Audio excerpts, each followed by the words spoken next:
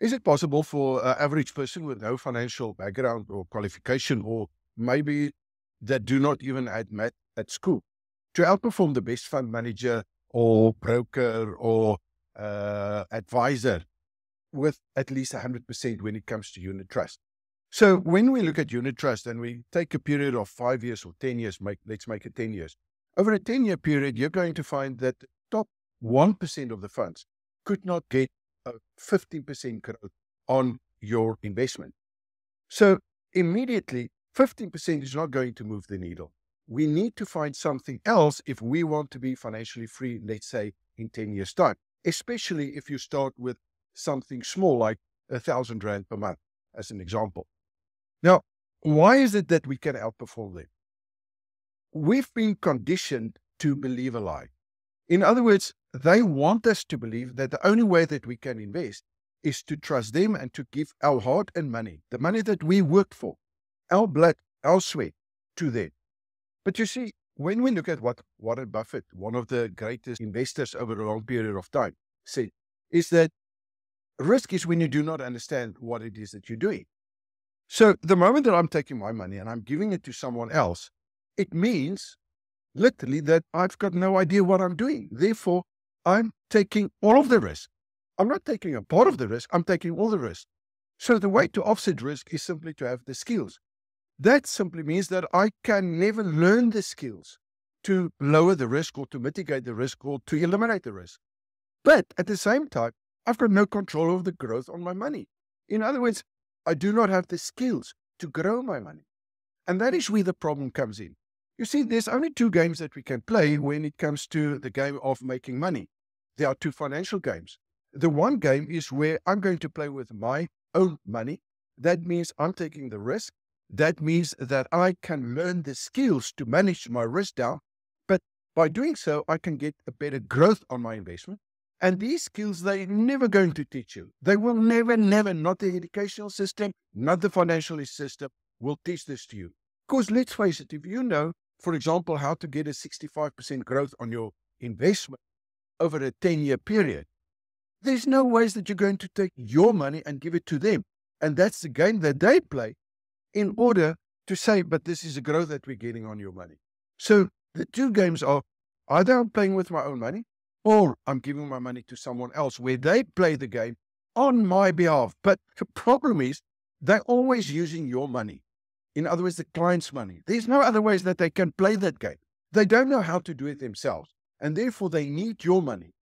And they're going to give you a miserable growth like 15%. And they're going to let you believe that 15% over a 10 year period is actually great return.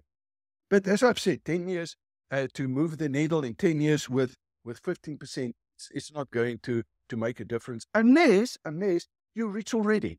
But most of us, when we started off, we start with basically nothing or very, very little. The moment that I take my money and I give it to them, I'm out of the game.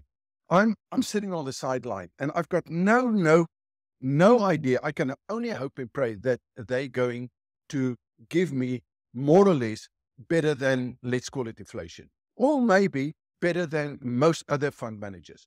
But I can't build a legacy or I can't get to my financial freedom um, based on what other people are going to do. I have to take the responsibility. And this is something that I discovered in 1987. And I'm so glad that I put in the time and the effort initially to understand how this game worked. Luckily for me, at that point in time, I was learning to become a financial planner. And I saw that we were learning how to sell products, right? we, we knew everything about the product, about the legal side, about the tax side, but we did not know how to do it ourselves. We always had to get money from the client to invest on behalf of the client. Always. That's the way that it works. And I wanted to know at that point in time, but how can I do it myself? What, what are the skills? Not to rely on the stock market as an example or on a mutual fund manager or someone or a unit trust fund manager. Right. So now, why is it that the average person will never, never win that game? I'd like to give you maybe the main reason why that is. You see, we do not understand risk. Warren Buffett says risk is when you, when you do not understand what it is that you're doing. So when I give my money to someone else, I'm taking the risk. Now, if I'm taking the risk, on top of that, there's no ways that I can learn the skill to offset that risk. It is impossible because the moment that I'm giving my money to, to them, it's actually not my money anymore. There's a promissory note that under certain conditions or circumstances, I can take my money or they'll give it back. But as long as they've got it, it belongs to them and they can do within their mandate whatever they want to do. And it's got nothing to do with me. Unless I want to take my funds out and give it to another fund manager or another broker that's going to place it with fund manager or big companies. So risk is when you do not know what you're doing. And for that reason, we need to understand what that is. Because in any investment, you're going to find there's two parts to it. There's the risk part and there's the growth part. But the main thing that very few people focus on is the risk part. Because if I can get the risk down immediately, the growth must go up. And it's directly opposite to what, what I've learned while I was studying to become a certified financial planner like 30 years ago. Right. And that was the higher the risk, the higher the growth. It's nonsense. It is absolutely nonsense. And as long as we believe that, we're going to keep on doing what we're doing at the moment, the majority of people at least, and that is to give your money to someone else without taking the responsibility to learn the skills. Now, why is it that they are always going to to to to win, irrespective of what's happening? Because they're going to get fees. So whenever I take my money and I hand it over to them, guess what's going to happen? They are going to collect the fees and they cannot lose, irrespective of what happened. So they are going to, through their, their organizations, they are protecting themselves. They're going to protect uh, the brokers, the advisors, the fund managers, the companies, everyone that is involved in that game for and on behalf of them will be will be protected by the way that they set things up. But you, the client, are always going to lose. Always. Why do I say so? Let me give you one simple example. This is one of, of many. The moment that I work for my money, what do I normally do? The average person, we go to an expert to do an analysis for us. And that expert is going to have a look at our affairs and say, okay, he advised that we split it immediately. All the places where he's going to place your money, all of it, is where someone is going to get a commission or a fee, or more than one person that is going to get a commission or a fee. In other words, it's not an add on, it's a take away because we believe that, yeah, but we do not pay the fees, but it's directly from our investment that it is taken. In other words, when we look at the allocation amount, it's after, and that's, by the way, the way that they're going to, to calculate their growth is after all costs are excluded. What is a growth? So that growth and the real growth is not the same thing, although we listen to the media and we believe that it is. So this person is then going to say, okay, invest in the different medium, low, depending on what risk profile you fall in. He or she is going to take it to a fund manager, and the fund manager they're going to manage it. But let's talk about the broker. So the broker is going to get his commission, and he's going to get the commission up front. Now, I've got nothing against commission. If a person earns his commission, then nothing wrong with it. But do you know that with unit trust, and as an example, if that funds over a 10 year period turns out to get a negative growth, the, the broker already received his money within the first month, within the first year. You already received it. So he cannot lose. Why not? Because it's not his money. I hope that you see where I'm going with it. And then he's going to place it with fund managers. Now, the fund managers, they cannot lose either why not? For the simple fact that even if they get a negative growth year on year, you're still going to pay them a management fees and all the fees that you agreed upon when you enter into that transaction. So it's not their money. They did not work for that money. It's not their blood. It's not their sweat. It's not their tears in order to, to, to, to manage that. Of course, the better they're going to do, the more money they're going to, to draw. But that's not always the case because the person that can do the best marketing normally has got the most funds and the, the management or get other people to do the marketing on their behalf. So this whole thing is, is against us because they cannot lose. but they're taking the money away from you. Now, let's talk about the financial system. The old mutuals and the Sanlams and the Liberties. I've got nothing against those peoples and the bank. But do you think that they can lose? No, they can't lose. Why not? Because it's not their money. The source of the money always comes from you, no one else. Without you handing over your money to them and hoping that they understand and that they know what to do with your money, it's not going to work. So the moment that I'm giving my money to someone else, I'm taking all of the risk. So this whole story that you must do a risk profile and they they they ask you a lot of questions and then according to that they're going to invest on your behalf. It's nonsense. Because you, my friend, always takes all the risk, irrespective of what happens with that unit trust, with the growth, either positive or negative. You are taking the the, the risk. And They are taking your money, but they do not take the risk. In other words, they are totally, totally risk free on condition that they stay within the mandate of what they can do and what they can't do. Because it's never their money. If it's my money, then I need to take the responsibility to learn the skills. And these skills, my friend, you're not going to learn from the educational system or the financial system. Because let's, let's face it, if you know how to get 65% growth, as an example, on a thousand rand, that's going to give you a little bit more than 10 million in uh, 10 years' time.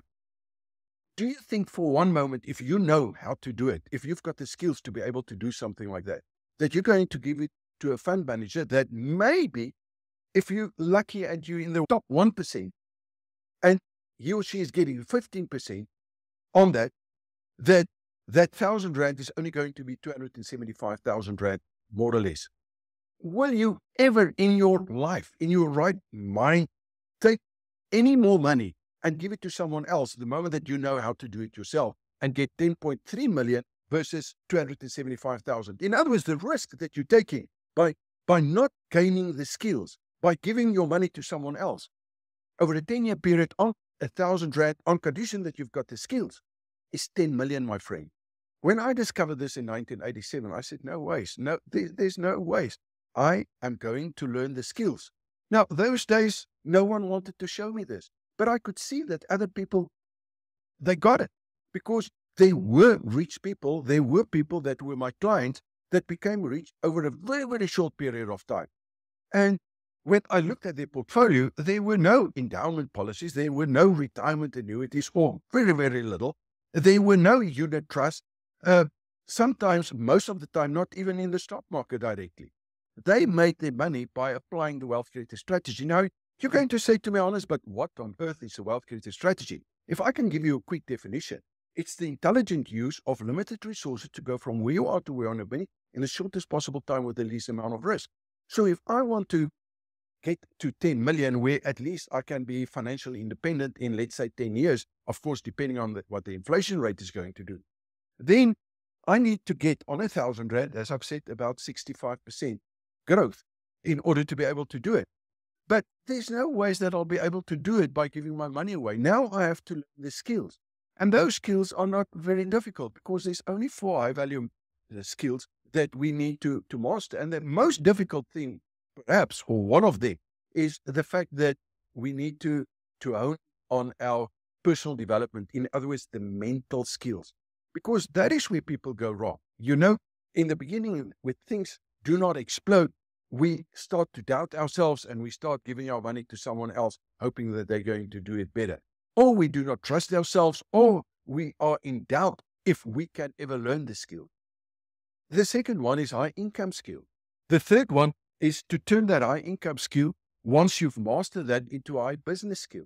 But not a business where you're going to withdraw the money. I'm talking about investment. And then from that money, if there's still a surplus, then where do we place that money? I'm placing the money basically back into business or businesses. I'm placing it into cryptos and I love, absolutely love property. Because the moment that we understand property and the risk that's attached to property and how we can use property, that forms the baseline, at least for me. I call it my security blanket. So the moment that I'm in property, I know that I can get a growth of 65% plus far better than 65%. But I first need to have the skills. And that's basically what I've done. in 1987 when I developed the Property Pro investment system, where I identify the risk and then I discover, but with every risk, there are several ways that I can offset that. And by stacking all these risks on top of one another, so we're looking at the worst case scenario. How can I handle that? Mm. If I could handle that and still outperform these mm. guys with 100%, then that is a reason why I started investing in property. But the beauty about property is once you start building a portfolio, you start going to collect income. And it's almost like almost like a passive income. I do not need to do a lot of things because my letting agents are doing this stuff. And then what do I do with that money? And that is where I can bring it back into a business or I can bring it back into cryptos and I can do a mix and a match between it and I can get a phenomenal growth. So although 65% is the baseline, that, that's the baseline. The moment that you start applying this where you combine all these skills, the wealth creator skills, you're going to find that you can get explosive growth. That's why in one of the challenges that I'm busy with and that I will explain in one of my upcoming um, master classes, the 500K master class, I'm going to explain how I've taken only 100 Rand, a total of 100 Rand with no other security. And I know for most people it sounds ridiculous, it sounds impossible, but I can prove that to you that 100 Rand total. And two years later, we're more than 4 million already on that. This is the power of investing in yourself, of gaining the skills. And I'd like to to share this with you if that is something that you are interested in. So if you're serious, then you're going to find a link on this page. I want you to click on that link to book for the 500K Masterclass. And then in the masterclass, I'm going to, to share with you four pillars of wealth. In 1987, when I started mastering this and I started applying this in my life, and by the way, I started with property. The moment that you start doing that, the growth was so phenomenal that seven years later, we were financially independent. In other words, we're financially free. It's, it's an amazing, amazing strategy. So if you are serious and you want to find out a little bit more about that and how perhaps you can apply it in your life, then click on that link and make sure to attend. Now, at the same time, please do not waste your time. If you know that you don't want to take the responsibility, if it's a lot more convenient for you to give your money to someone else, hope and praying that they're going to give you a reasonable return, like 15%, which, by the way, is above, far above the average, then this masterclass is not going to be for you because I'm going to expect from you to take the responsibility to learn. And most people don't want to learn. You know, the moment that they out of school or out of um, college or university, that whole process stops. Now, I'm a lifelong learner. If you're not one of those, then why do you want to attend a boring, boring uh, masterclass? It makes no sense. So please do not click on that button if you fall into that category. For those of you that do click, I can't wait to see you there. Thanks for your time, and I see you then in the masterclass.